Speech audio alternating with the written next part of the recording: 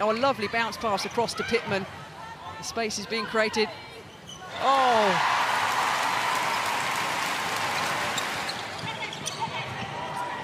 Oh, the mistake, the miscommunication, not the best pass means that England are going to turn it over with 30 seconds to go. Just a little bit nearer from Harten, going back with Pitman. Oh, Jade Clarke nearly read that perfectly. She knew exactly where it was going to go, the wing defence for England. And Geva Mentor picks it up, and in two, three shots, the thirds of the court are just swallowed up by the Roses. Pitman with a little fake there. Looks one way, throws it another. Dunn knows it's coming, and Dunn pops it in.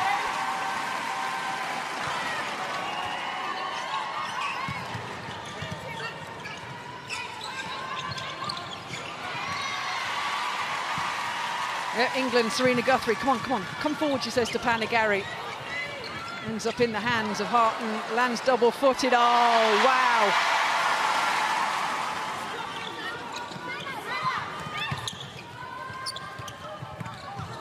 Wow, look at Jo Harten, oh my, right in front of us, Emma, Jo Harten says, oh my days.